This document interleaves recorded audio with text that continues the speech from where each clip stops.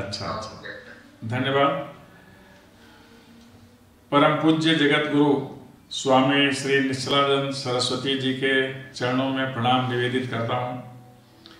आज इस राजधर्म संगोष्ठी में प्रतिभाग कर रहे माननीय सांसद श्री अश्विनी वैष्णव जी, जिनके सारगर्भित वक्तव्य को सुन रहा था और ऐसा अनुभव कर रहा था कि राजनीति के माध्यम से जनहित, परहित, किस तरह सुचितापूर्ण तरीके से सक्रिय होकर समभाव से किया जा सकता है। वस्तुतः यह राजनीति शास्त्र का एक गूढ़ पक्ष है, जिसे हम व्यवहारिक पक्ष कहते हैं, और इसी के लिए राजनीति है भी। राजनीति लोक कल्याण की विधा है, और उसमें वो किस तरह से प्रतिभाग करते रहे, किस तरह योगदान करते रहे, निश्चय ही गौरव का विषय है। मेरे अत्यंत आत्मीय, प्रिय भाई और निरंतर सहयोग करने वाले महात्मा गांधी केंद्रीय विश्वविद्यालय के यशस्वी कुलपति, प्रोफेसर संजीव कुमार शर्मा जी, जो इस विषय में पारंगत हैं और विलक्षण वक्तृता के धनी हैं संस्कृत निष्ठ वक्तव्य में इन्हें महारत हासिल है।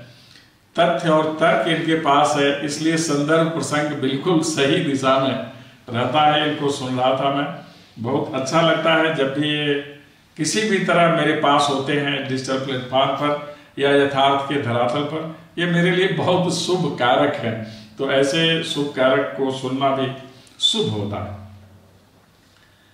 बीच बीच में पूज्यवर को भी सुन रहा था। वो हम सभी के लिए संदेश भी है। संकेत भी है इस विधेयक विषय को व्याख्यायित करने में और समृद्ध करने में, अपनी भूमिका निर्धारित करने के संदर्भ में। जब भी हम लोग राजनीति के बारे में विचार करते हैं तो मूल रूप से जो भाव उत्पन्न होता है कि यह है क्या?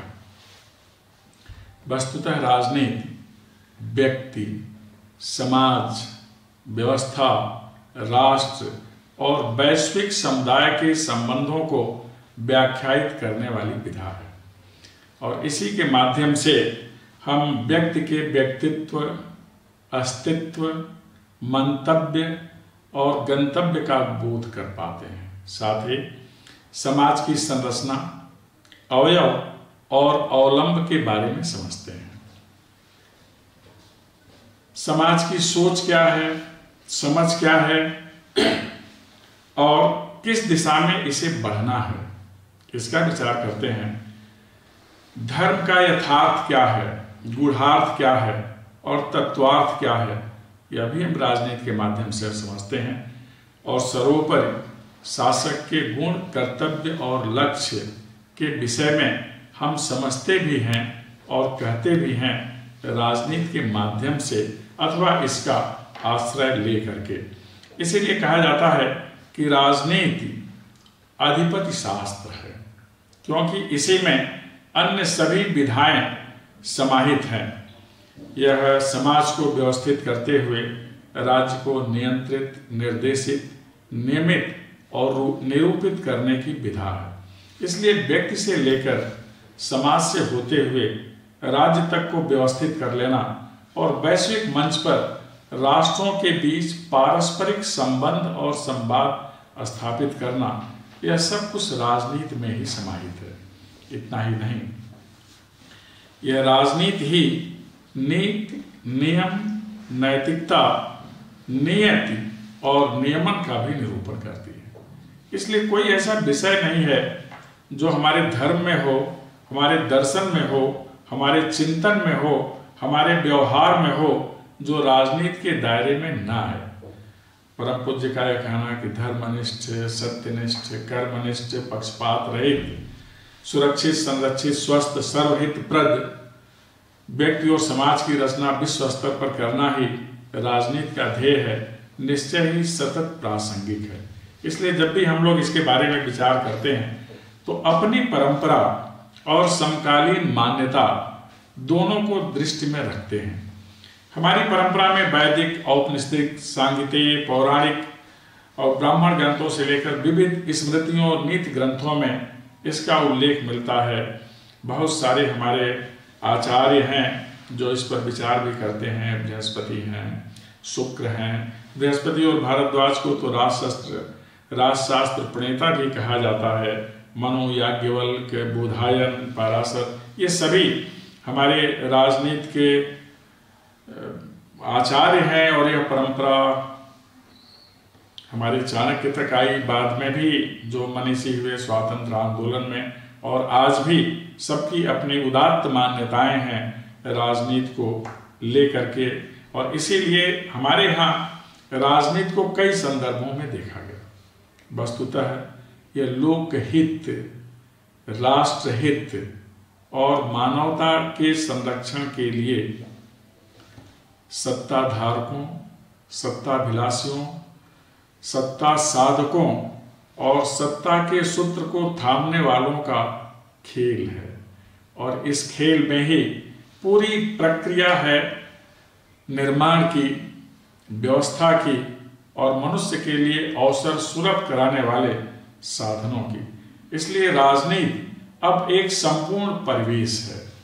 आज कोई ऐसी घटना नहीं होती स्थानीय आंचलिक प्रांतीय राष्ट्रीय से होते हुए अंतर्राष्ट्रीय स्तर पर, जिसमें राजनीति का अंश न माना जाए या राजनीति का कारण न माना जाए। इसलिए अब राजनीति परिवेश है, पर्यावरण है। हम राजनीति जीते हैं और राजनीति की ही सांस लेते हैं। इतना महत्वपूर्ण है राजनीति। हम इसे कह सकते हैं कि व्यक्ति और सत्ता के संबंधों का इसमें भाष्य होता है। अथवा सत्ता की नीतियाँ कैसे बनती हैं, कैसे क्रियान्वित होती हैं, अभी माननीय सांसद जी को हम लोग सुन रहे थे।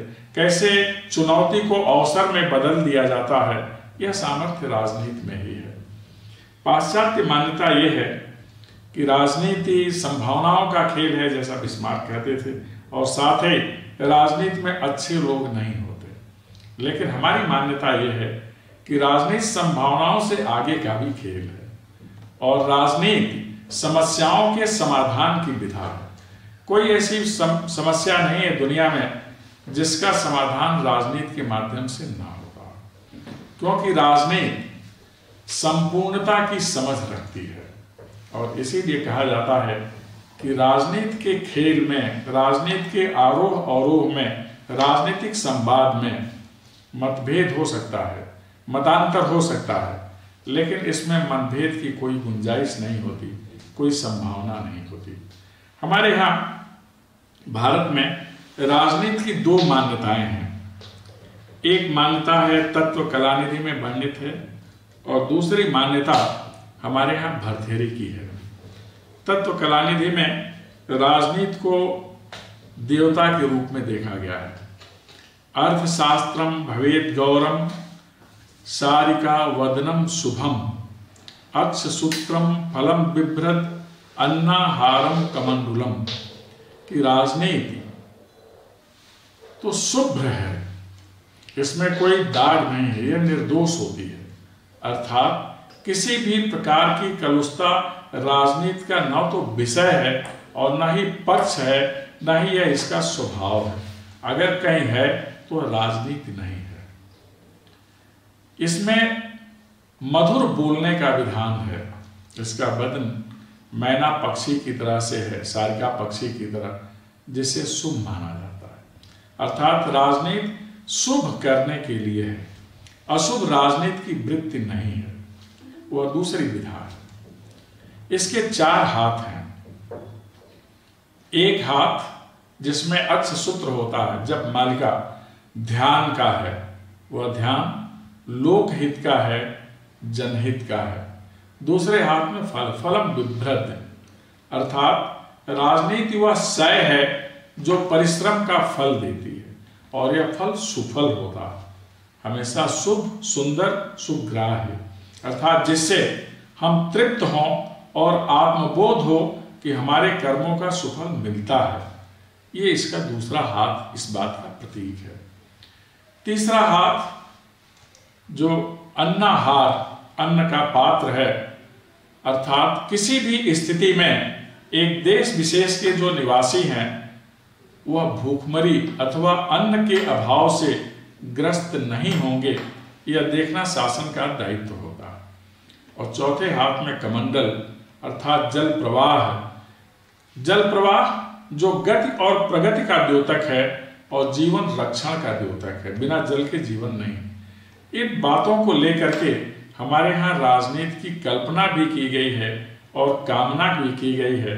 इसी को लेकर हम आगे चलते हैं। और ऐसी राजनीति जब राज्य के स्तर पर आती है तो इसके अंगों का विवेचन करती है। और फिर हम चाणक्य का ध्यान करते हैं, जो सप्तांग राज्य की चर्चा करते हैं, स्वामी अमात्य जनपद, दुर्ग, कोष, दंड और मित्र। हमारे यहाँ यह सब एक अलग विधाएँ हैं। शासक कैसा होना चाहिए? गुण धर्म कैसे होने चाहिए, लक्ष्य कैसे होना चाहिए, उसमें विधान है। जो मंत्री परिषद है, उसके गुण क्या होने चाहिए, उनका लक्ष्य क्या होना चाहिए, इसका विधान है। जनपद, भूभाग और जनसंख्या, अर्थात जो जनसंख्या हो, उसमें राष्ट्रभक्ति हो, और भूभाग इतना उर्वर हो कि कभी किसी चीज़ की कमी ना होने सुरक्षा विधान दुर्ग, इस पर ध्यान देना चाहिए। कोष वैभव होना चाहिए। न्याय प्रियता होनी चाहिए, दंड होना चाहिए। सुरक्षा के साथ साथ कानून की व्यवस्था, सैन्य बल और मित्र हमारे सुहृद होने चाहिए। हमारे जो तीन तत्व हैं ऐसे में पूरा पश्चिम के पाँच तत्व समाहित हैं। स्वामी में ही उनकी सरकार है, उनकी संप्रभुता है। हमारे जनपद में ही उनकी जनसंख्या है, भूभाग है और जो चार अंग यही मित्र में उनकी मान्यता है। इसके अतिरिक्त जो अमात्य मंत्री वर्ग स्थायी प्रशासन है, ये उनके राज्य मंडली में नहीं है। जो सुरक्षा का प्रबंध है, दुर्ग और अर्थशास्त्र यह उनकी व्यवस्था में नहीं है। हम बहुत आगे आदिकाल से ही राज्य की व्यवस्था और उसके निर्धारण में रहे हैं। हमारे यहाँ तो ऋग्वेद, अथर्ववेद में भी इसकी चर्चा बहुत हुई। अथर्ववेद में तो पृथ्वी के सूक्त में है, माता भूमि पुत्रो हम पृथ्व्या। हम तो पृथ्वी को माँ मानते हैं और अपने को उसका पुत्र मानते हैं। ये हमारे राजनीति का आशय है। इसमें हम धरा को माँ मानते हैं। इसमें हम प्रकृति का बंधन करते हैं। इसमें हम लैंगिक समानता का उद्घोष करते हैं। जो मनुस्मृति में है, राजनीति का प्रमुख धर्म भी है। बाद में यही गौतम बुद्ध ने भी कहा मनुस्मृति में लिखा नारी वंदना के लिए यत्र नार्यस्त पूज्यंते रमनते तत्र देवता, यत्र हितास्त पूज्यंते सर्वास्तत्रा फला क्रिया। नारियों का स्तवन होना चाहिए। ये कहा हमारे शास्त्रों में, ये हमारे राजनीति का आशय है। हमारे भाई संजीव जी बहुत अच्छी बात बता रहे थे दंड के चार आधार अलब्ध लब्धार्थी, लब्ध परिरक्षण रक्षित विवर्धनी बृहत स्मृतिस्थ प्रतिपादनी इसके आगे भी बहुत सारी चीज़ें हमारे यहाँ कही गई। हमारी व्यवस्था में ज्ञान के चार मार्ग बताए गए, जो राजनीति के चार अवयव बताए जाते हैं आन्विक्स की त्रय वार्ता और दंड नीति इससे संचालित होती है राजनीति। फिर हमारे यहाँ खटगुण नीति दिया गया संधि विग्रह, यान यासव या आश्रय सदय भाव, संश्रय, इस पर हम विचार करते हैं। मंडल सिद्धांत को लेकर चलते हैं। विजय किशु, शत्रु मित्र, उदासीन, मध्यस्थ पार्षद इस सबको लेकर न केवल राष्ट्रीय राजनीति अभी अंतरराष्ट्रीय राजनीति के ढेर सारे अवयव और आशय हमारे यहाँ पहले से ही वर्णित हैं। हमारे यहाँ यह भी मान्यता है कि राजा का लक्ष्य क्या होना चाहिए? राजा का दायित्व तो क्या होना चाहिए? अर्थात शासक को करना क्या चाहिए? अर्थशास्त्र ने लिखा, प्रजा सुखे सुखम राज्य प्रजा नाम चाहिए हितम। नात्मा प्रियम हितम राज्य प्रजा नाम तो प्रिय हितम। जो प्रजा का हित, हितकर है, सुखकर है, वही राजा के लिए भी है। राजा का या शासक का अपना कुछ तो है ही नहीं। इसीलिए संविधान सबसे बड़ा धर्म राष्ट्र सबसे बड़ी आस्था की पूंजी जहाँ हमारी आस्था होती है और राष्ट्र के जन, हमारे भाई बंधु, हमारे लिए हमेशा बंदनी, हम सबकी वंदना करते हैं, राष्ट्र का बंधन करते हैं। ये हमारी व्यवस्था है, हमारे यहाँ राम राज्य है जहाँ सभी परस्पर प्रेम करते हैं, जहाँ कहीं अभाव है ही नहीं। जहाँ भाव का प्रभाव है, संवेदनशीलता है सुचता है, पारदर्शिता है कर्तव्य निष्ठा है, हम उस राम राज्य की कल्पना करते हैं। ये हमारी सनातन राजनीतिक व्यवस्था है। लेकिन भरथियरी ने एक दूसरी राजनीति ओर भी संकेत किया। वह भी महत्वपूर्ण है। सत्यानुरा प्रियवादिनी च हिंसा दयालुरप चार्थ परा बदान्या नित्य व्या नित्य प्रचुर धनागमा च वारांगने रूपा कि जिसमें सत्य भी है, असत्य भी है, कठोर वचन भी है, मृद वचन भी है, कष्ट देने का भी भाव है, प्रेम करने का भी भाव है, भोगशीलता का भी भाव है, व्यय भी है, धनागम भी है, इस तरह से इसकी वृत्ति बहुत चंचला होती है। संभवतः उसी समय उन्होंने अंतर्राष्ट्रीय राजनीति के जो गुण धर्म है, उसका अनुभव कर लिया था, क्या होने वाली है राजनीति की दिशा और दशा, इसके बारे में। लेकिन यह जो भरथेरी ने कहा, वो भारत की सनातन राजनीति से मेल नहीं खाता। वो वो एक व्यवहारिक पक्ष है जो हमेशा लागू नहीं होता। यथाशीघ्र सफलता के लिए इसका प्रयोग होता है। और आजकल जो अंतर्राष्ट्रीय राजनीति में हर राष्ट्र यथाशीघ्र अतिशय संपन्न हो जाना चाहता है। हर व्यक्ति यथाशीघ्र संपन्न हो जाना चाहता है। उसकी ओर उनका संकेत था। मूलतः वह धन के बारे में बता रहे थे और धन की विशेषता बताते बताते उन्होंने इसे राजनीति से जोड़ दिया था। हमारे यहाँ राजनीति में धन के बारे में भी विशद विवेचन है। इसको भी लेकर के कई प्रकार के नियम बनाए गए, कई प्रकार के दृष्टांत दिए गए। ये माना गया कि धनाधिक्य खराब होता है। इसलिए उसकी बहुत ज़्यादा अधिकता भी नहीं होनी चाहिए। नियंत्रित होना चाहिए। हमारे यहाँ भरतेरी ने सबसे पहले इसके बारे में बताया कि वैभव का महत्व क्या है। यस्यास्तवित्तम स नर कुलीन, स पंडित स श्रुतवान गुणज्ञ, स एव वक्ता, स च दर्शनीय, सर्वे गुणा कांचन माश्रयती सब कुछ वैभव में ही समाहित है। जिसके पास है, वही बत्ता है, वही सारे गुणों से संपन्न है, दर्शनीय है। लेकिन यह एक पक्ष है। यह जो वैभव बाहर से दिखता है, वह सुख का आधार नहीं हो सकता। धन से सुख नहीं खरीदा जा सकता। सुख सुव्यवस्था और संयम से आता है, संचय से आता है। इस पर हमें हमेशा ध्यान देना चाहिए। इसीलिए जब सतत विकास के बारे में हम चर्चा करते हैं, जो राजनीति का एक आशय है, भाव है, निहितार्थ है तो हम ईसावास्योपनिषद के बारे में विचार करते हैं। तेन अत्यंते त्यक्तेन गुंजीता माँ कस्वित धनम। कि हम त्यागपूर्ण भोग करें और आने वाली पीढ़ी को उतना छोड़ के जाएँ जो हमें प्रकृति ने दिया है। इस पर हमारी राजनीति हमेशा विचार भी करती है और मंथन भी करती है। आज जो वैश्विक व्यवस्था हो गई थी, कोरोना काल में उस पर ग्रहण लगा हुआ है तो उसमें भोगशीलता पर बहुत ज़्यादा आग्रह था। सब कुछ आप कर्ज लेकर कर लीजिए, कार कर लेकर बनवा लीजिए। हमारे यहाँ भी इस प्रकार का दर्शन देने वाला एक आचार्य का नाम लिया जाता है, चारवाक का। यावत जीवेता सुगम जीवेता ऋण कृत्वा जीवेता भस्मीभूत देह से पुनरागमनम कुतः?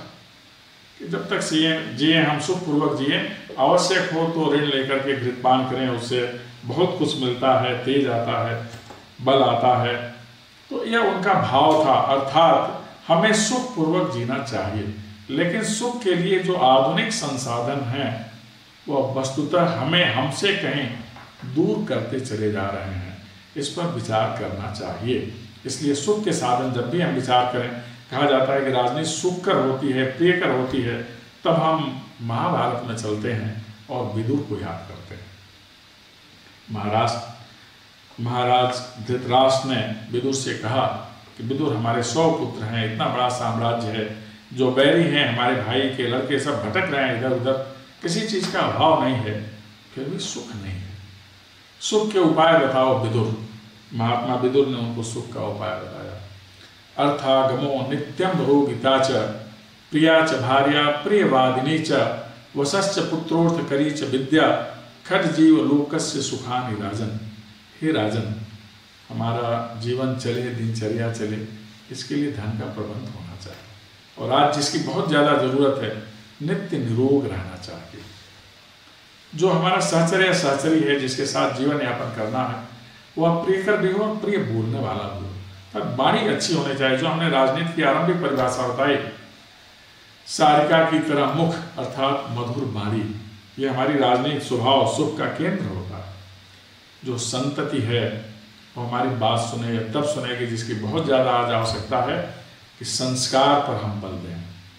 तो आश्रमों के गुण धर्म हैं, इस पर हम बल दें तो संतति अवश्य हमारी बात सुनेगी। हम इतना ज़्यादा आर्थिक दुनिया में व्यस्त हो गए थे कि अपनी संतान के लिए हमारे पास समय ही नहीं था। लेकिन आज हमारे पास पर्याप्त समय है, अपने लिए, अपनों के लिए, आस्था के लिए, अनुनय के लिए, विनय के लिए बहुत ज़्यादा समय। अब निश्चित रूप से हम पुनः संस्कार संपन्न हो रहे हैं, जिसकी हमें बहुत ज़्यादा आवश्यकता और आखिरी है बसस्त पुत्रोर्थ करी च विद्या विद्या वह होनी चाहिए जिससे हमारी आजीविका चले, आजीविका मिल सके, रोज़गार के अवसर मिले तो इस प्रकार की हमारी विद्या होनी चाहिए। यह रास्ता शिक्षण संस्थानों से जाता है, पहले जैसे आश्रमों से जाया करता था। हमें इस पर ज़्यादा विचार करना है और यह हम विचार करेंगे, तभी जाकर हमारे यहाँ जो राजनीति के उदात्त लक्ष्य हैं, हम उसे पूरा कर सकेंगे। पहला लक्ष्य तो यही था कि हम पूरी धरा को ही एक परिवार मान ले। मोपनिषद में लिखा अयम निज परोवेति गणना लोकचित साम उदार चरिता नाम तो वसुधैव कुटुंबकम। यह भारत उदार चरित्र के लोगों का देश है और हमारे लिए पूरी धरा ही एक परिवार की तरह से है। इसलिए आज हम चिंता केवल अपनी नहीं कर रहे हैं, अपने लोगों की नहीं कर रहे हैं। पूरे संसार की चिंता कर रहे हैं कि मानवता सर्वत्र सुरक्षित, संरक्षित रहे। जैसा परम पूज्य ने कहा कि सुरक्षित होना चाहिए, संरक्षित होना चाहिए। और यह दोनों भाव केवल अपने देश के लिए नहीं है, यह संपूर्ण मानवता के लिए है। यह राजनीति का बृहद स्वरूप है, जिसको लेकर के हम चलते हैं और मूलतः राजनीति, सत्ता और शासित के अंतर संबंधों को भी रूपायित करती है। बौद्ध काल में इस पर बहुत ज़्यादा बल दिया गया था। हमारे यहाँ गणतंत्रों की भी परंपरा रही है, आज जिसे हम कह रहे हैं। हमारा लोकतंत्र, दुनिया का विशालतम लोकतंत्र है और सफलतम लोकतंत्र है। इसमें कोई संशय नहीं। प्राचीन भारत में गणतंत्र थे, वह भी बहुत ज़्यादा सफल थे। वही सूत्र आज भी मानक हैं, सफलता के, सत्ता के। पुराने छठी शताब्दी ईसा पूर्व में कटसी उमालो शूद्र संकानी का प्रार्जुन, अर्जुनायन जैसे बहुत सारे गणराज थे। वैशाली, कुशीनगर, कुशीनारा क्षेत्र से मैं आता भी हूँ। ये सारे गणराज थे बहुत सफल थे। गौतम बुद्ध जी से पूछा गया कि इन गणतंत्रों की सफलता के कारण क्या है, जो आज के लिए बहुत ज़्यादा प्रासंगिक हैं? गौतम बुद्ध ने कहा, जल्दी जल्दी सभाएँ करना और सभा में अधिक से अधिक लोगों की भागीदारी होना। इससे जनता अपने प्रतिनिधि और शासक के विचार सुनती है, मंतव्य जानती है और एक लगाव भाव उत्पन्न होता है। नियमों का पालन करना यह सबके लिए आवश्यक है। नियम केवल पालित हों, ये अधिकारियों, जनप्रतिनिधियों, या जो महत्वपूर्ण पद पर बैठे उन्हीं के लिए नहीं जन सामान्य के लिए भी है। पहले था, धर्म और रक्षा की रक्षिता जो धर्म की रक्षा करता है, उसकी रक्षा हो जाती है। आज जो नियम का पालन करता है, वो सुरक्षित है, इसका ध्यान रखना चाहिए। लेकिन नियम भी ऐसे बनने चाहिए, जो जनहित में हो। हमेशा इसका ध्यान रखा जाना चाहिए। फिर बुज़ुर्गों का सम्मान होना चाहिए। जिस व्यवस्था समाज या राष्ट्र में बुज़ुर्गों का सम्मान नहीं होता, वो अनुभव की थाती लिए चलते हैं। वह समाज, प्रगतिकामी समाज नहीं कहा जाता। इसलिए उनका सम्मान होना चाहिए। महिलाओं की सुरक्षा और सम्मान का विशेष ध्यान रखा जाना चाहिए। यही मनुस्मृति में भी है। यही गणतंत्रों की सफलता का सूत्र बताते हुए भगवान बुद्ध ने भी कहा। क्या कहा? अंत में, अपने अपने धर्म का पालन करना चाहिए। स्वधर्म निधनम श्रेय, ये गीता का संदेश है। अपने धर्म का पालन करना, अर्थात अपने लिए निर्धारित दायित्वों का पालन करना चाहिए। और यही लेकर के भारतीय राजनीति कही जाती है, सुचिता की राजनीति है, पवित्रता की राजनीति है। और जैसा गांधी कहते थे कि सिद्धांत विहीन राजनीति अभिशाप है तो इसमें यही सिद्धांत है सुचिता हो, पारदर्शिता हो, राष्ट्रभक्ति हो, दायित्व के निर्वहन का भाव हो, और यह सब रहेगा, तभी हमारी वह अहिंसा की विचारधारा भी निरंतर प्रवाहित होगी, जो हमारी सनातन मान्यता से चली आ रही है। अहिंसा, परमो धर्मा, श्रुत स्मार्ट अहिंसा श्रेष्ठतम धर्म है। ऐसा श्रुतियों और स्मृतियों में कहा जाता है। अर्थात, हमारी राजनीति का भाव है कि हम जड़ चेतन सबसे प्रेम सभी मनुष्यों से प्रेम करें। हम दुराव न रखें, लगाव रखें यह हमारा स्वभाव होना चाहिए। हम प्रगति की दौड़ में आगे हैं और कोई भाई हमारा पीछे छूट गया तो उसे आगे ले चलने के लिए हम सपोर्ट प्रदान करें, हम संबल प्रदान करें। यह हमारी राजनीति का भाव है और इसीलिए कहा जाता है कि हमारी राजनीति का लक्ष्य बहुत उदात्त है। वह लक्ष्य है, सर्वे भवंतु सुखिन, सर्वे संतु निरामया। सर्वे भद्राणी पश्यंतु माँ कश्चित दुर्भाग भवे हम सबके सुख की बात करते हैं। ये हमारी राजनीति का व्यापक चरित्र है और स्वभाव है। अगर हम सब इसका ध्यान रखेंगे तो निश्चय ही यह राष्ट्र, हिंदुस्तान, पुनः दुनिया को आलोकित करने वाला है। शिक्षा के क्षेत्र में, स्वास्थ्य के क्षेत्र में, राजनीति, व्यवहार और सिद्धांत के क्षेत्र में, दर्शन के क्षेत्र में कला और विज्ञान के क्षेत्र में हम विज्ञान की हमारी मान्यता है कि आत्म तत्व और परमात्मा तत्व का बोध कर लेना ही विशिष्ट ज्ञान है और आज यह कल युग है, कल पुरुषों का युग है, तकनीकी का युग है, यह तकनीकी किस प्रकार की होनी चाहिए, इस पर भी हमारे शास्त्रों में विचार हुआ और सबकी दिशा निर्देशित, नियंत्रित करने का अधिकार राजनीति को मिला क्योंकि यही राजधर्म है और हिंदुस्तान का यही राष्ट्र धर्म है। मुझे पूरा विश्वास है कि इस संगोष्ठी से और परम पूज्य के आशीर्वाद से हमारी राजनीति ऐसी है और ऐसी बनी रहेगी कि आने वाले विश्व को हम पुनः आलोकित करेंगे अपनी आभा से, अपनी प्रज्ञा से, अपनी मेधा से। और दुनिया की भी राजनीति, सुस्ता की राजनीति हो जाए तो राष्ट्रों के बीच टकराव नहीं होगा। सहमति होगी, सद्भाव होगा, सह अस्तित्व होगा और शांतिपूर्ण अस्तित्व होगा। आप सबने हमें अपने साथ जुड़ने का अवसर दिया। इसके लिए मैं आप सभी का कृतज्ञ हूँ। बहुत बहुत धन्यवाद। प्रणाम।